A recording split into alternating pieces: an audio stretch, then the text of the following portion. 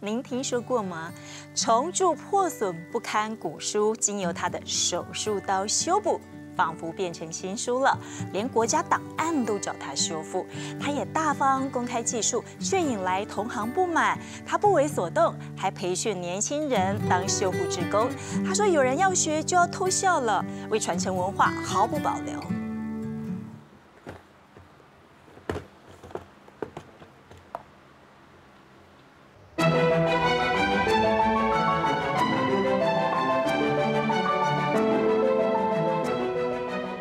正的职人应该就傻子，傻傻傻子做一件事，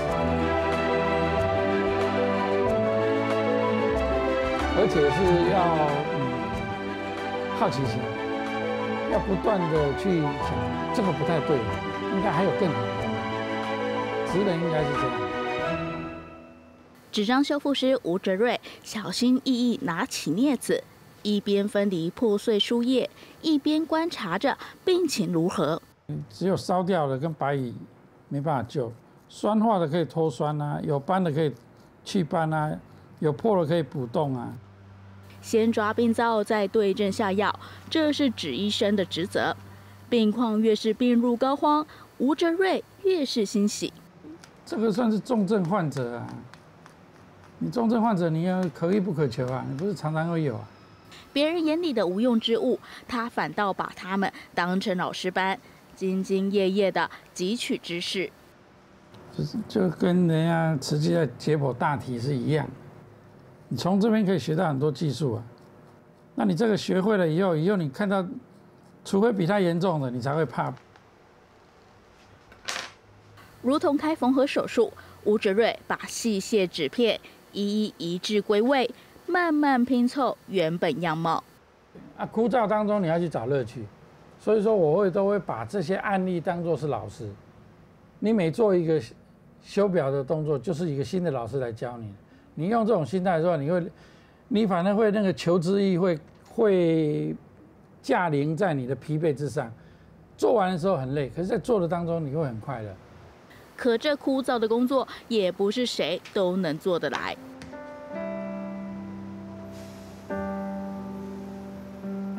要喜欢，耐得住寂寞，因为往往在做这个修表，表背还好，做修表的话，往往一个动作会持续一整天，或者说一个月、一个礼拜都会有。除了全心投入，还得广泛涉猎有关纸张字画的所有一切。我常跟人家讲，你跟我讲纸张以外，我白痴。啊，我纸张我可以滔滔不绝的讲，而且可以很爱讲。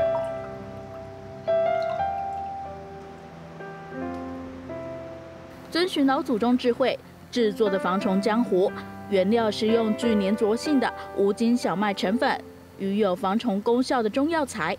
他说，重点在于可逆性，这样分开时才不会伤纸张纤维。当你做出来浆糊它不能拔丝的话，代代表它密度不够，密度不够它会垮。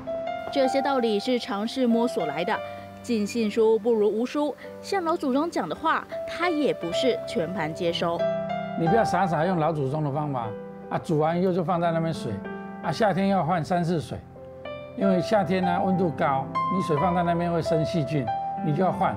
那现在有冰箱，我觉得这个我像我的学生，我就叫他不用换。那这个是偏黄色，啊，这个是偏有没有这个颜色？站在吴哲瑞身边，看起来有些羞涩。他是吴哲瑞的徒弟裴进福。从越南搭飞机来台湾学修复纸张这门功夫，他讲话是归讲话，但是他做事的时候就看到他的功夫了。他的功夫就是很厉害，就做每个每个动作都有都很讲究，然后东西做出来就是 perfect，就是很很标准这样子。裴建福大学念的是汉南语，是越南传统文字。但古籍现今多有毁损，他想留住当地文化历史，所以特地来拜吴哲瑞为师。我现在是一天二十四个小时，那睡觉的时候还有睡觉时间嘛？睡觉也就是还是有想到这个这些怎么去去做，这些老师的那个 课业是怎么去自自己的技术怎么去改良这样子。进福展现求知欲，倒也有点像从前的吴哲瑞。太太很不谅解，她都讲我是杂菜面，杂菜米啊，什么都想学，而且哦，那个应该讲占有欲很强，看到不会的就想要去学，那主力也要做，然后旁支也要照顾，就会很吃力。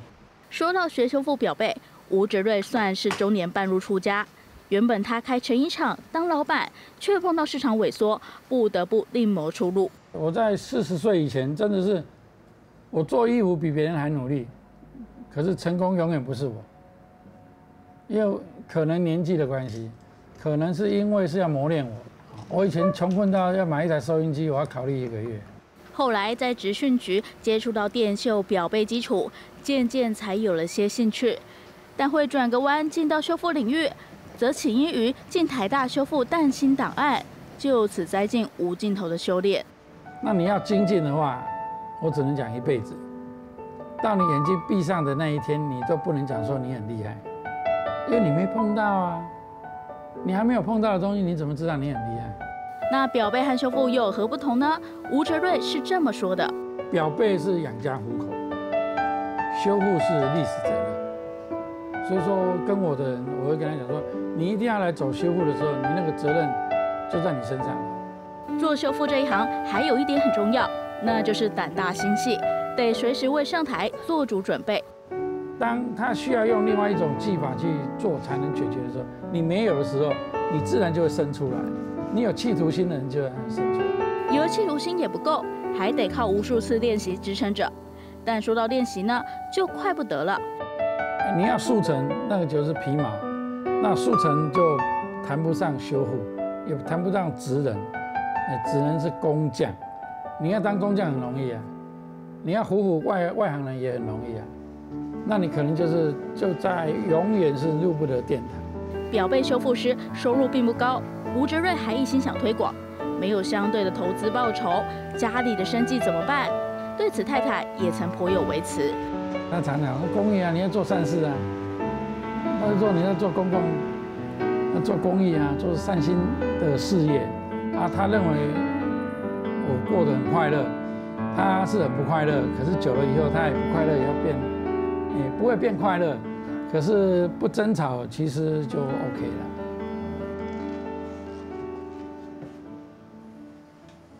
把润滑的江湖刷匀，粘到字画背后。再用棕刷轻轻刷平贴合，这个步骤叫做小托，能达到加固效果。像小托一样支撑着吴哲瑞努力传承的背后，其实还有这么个小故事。我记得我第一次修是一一个长辈对我很好，他拿了一张两百万的张大千的墨宝，只是小破而已，他叫我把它补好，把它做成卷轴。我说没问题啊。而且待遇还很好。后来吴哲瑞才察觉到，其实这是长辈的一番好意。因为他是他是疼我，让我直接就直接接触到真的东西。可是那个长辈真的很厚道，我现在讲讲的有点想掉眼泪。他真的对我很好。这件事他一直惦记在心上，无时无刻提醒着自己。那从那边让我学到说，他有能力，他看到一个可以栽培的人，他就栽培我。那些就像我们现在看到他们一样，他那么用心，我为什么不要？你看又来了，来，不是来看我，来这样子，你一次要刷三张，你就拿来。好，这个是你的字帖。无收费义务指导，还提供场地教材，让学生们来练习。因为吴哲瑞怕再不推广就会来不及了。台湾都没有人在推，那。以后的后面一辈可能要到日本去学裱画，因为在台湾裱画就日渐的式微了。现在是积微成市了，不对的比对的还多了。那再没有人站出来，就总是要有人牺牲吧。花了二十年时间钻研，吴哲瑞无私的倾囊相授，因为他知道肩头上的责任现在还不能卸下来。而且当你投入的越多，你的责任就越重。因为别人要赋予你的任务就越多，你要把这些东西都做完了以后，你才可以讲说我要换跑道。所以我现在就说，嗯，就身不由己，你不能说我现在不做就不做，我还是要在这个跑道上面继续走。尽管没能赚大钱，但推广总算有了些成果。有修无泪指医生会继续坚持走下去，把认为对的事情给做好。